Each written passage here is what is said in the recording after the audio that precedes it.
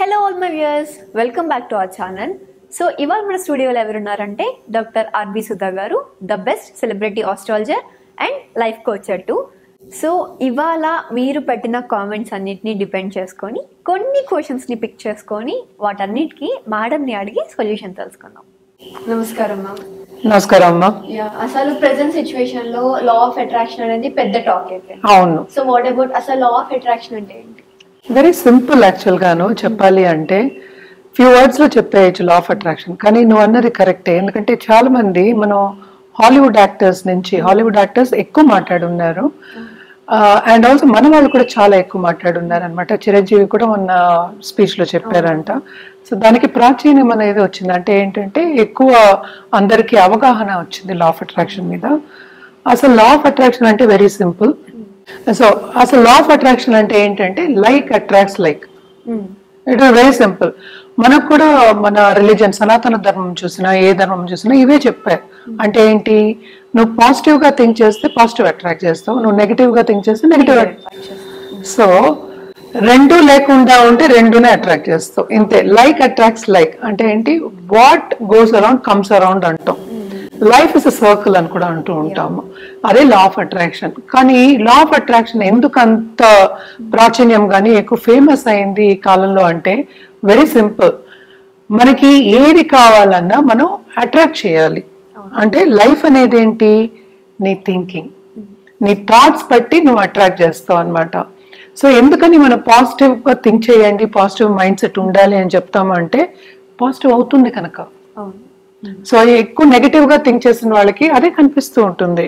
ఇప్పుడు చాలా మంది మనం చూసాము అంటే వెళ్తూ ఉంటారు రోడ్ మీద వెళ్తూ ఉంటాం. అక్కడేమో ఒక తాడు పడి ఉండొచ్చు. కొంతమంది అది పావు అనుకోవచ్చు. సో మన చూపును పట్టే కదా మనకి అన్ని జరుగుతూ ఉంటాయి అలాగే లా ఆఫ్ అట్రాక్షన్ అంటే మనం ఏమి అట్రాక్ట్ చేస్తాము అంటే మన థాట్స్ని మన థింకింగ్ని మనం అట్రాక్ట్ చేస్తున్నాం.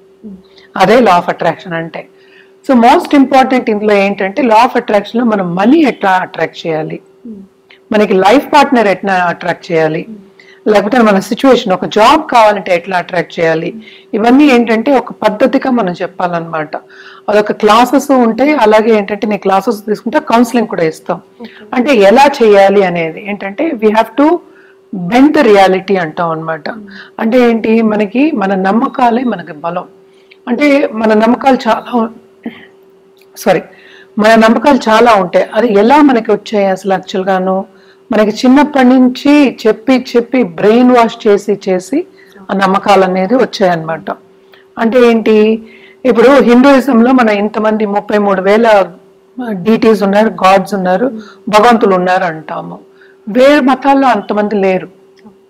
కదా? సో కానీ వాళ్ళకి అనుకున్నది అవుతోంది మనకి అవుతోంది. అలా ఇంకో ఎగ్జాంపుల్ చెప్పాలి అంటే ఇప్పుడు తిరుపతిలో మనం ఒక విషయం అనుకుంటున్నాం దేవుణ్ణి అనుకుని. సో సాయిబాబా అనుకో లేకపోతే శివుణ్ణి అనుకుని ముడుపు కడతారు వెళ్తారు అయ్యప్ప స్వామికి వెళ్తూ ఉంటారు.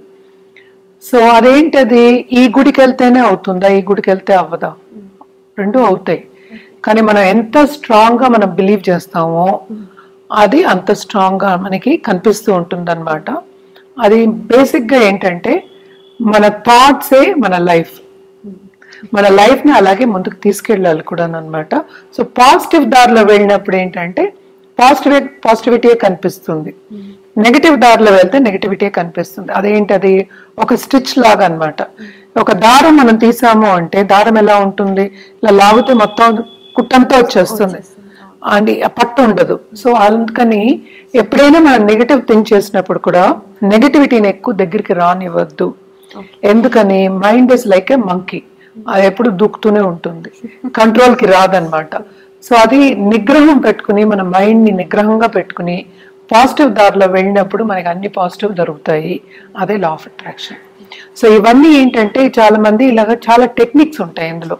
జర్నలింగ్ టెక్నిక్ అని విజువలైజేషన్ అని ఇంకా చాలా ఉన్నాయన్నమాట. ఇవన్నీ చేయాలి.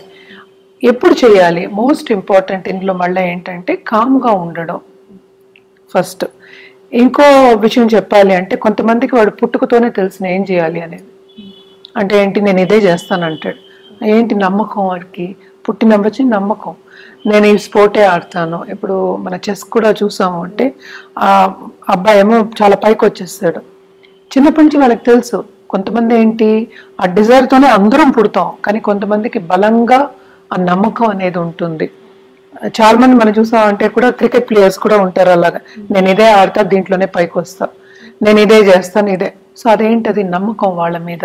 సో ఫస్ట్ ఏంటంటే ఆ నమ్మకాలు బిలీఫ్స్ ఈ బిలీఫ్స్ ఎలా ఫామ్ అవుతాయి అంటే మనకి చిన్నప్పటి నుంచి పేరెంట్స్ చెప్పి చెప్పి ఫామ్ అవుతాయి. బ్రెయిన్ వాష్ చేయడం అన్నాడు సో ఆ నమ్మకం ఎప్పుడు మనకి బలంగా ఏర్పడుతుందో అది మన లైఫ్ అవుతుందన్నమాట. అలాగే విజువలైజేషన్ చేసినప్పుడు కానీ లేకపోతే మనం చాలా చెప్తూ ఉంటాం డ్రీమ్ బోర్డ్ అంటాము విజన్ బోర్డ్ అంటాం. ఇవన్నీ చేసినప్పుడు ఏంటంటే అది ఆ గోల్ని మనకి కనిపిస్తూ ఉంటుందన్నమాట. ఇది చేయాలి. ఎలా వస్తుంది అనేది యూనివర్స్కి వదిలేయాలి. అందుకనే ఎప్పుడు చెప్పేది ఏంటంటే మన గీతలో కూడా అదే చెప్పారు. నువ్వు నీ కర్మని చెయ్యి ఫలితాన్ని వదిలే అన్నారు. నువ్వు ఫలితాన్ని ఎప్పుడు వదిలేస్తావు? నీకు నమ్మకం ఉన్నప్పుడు.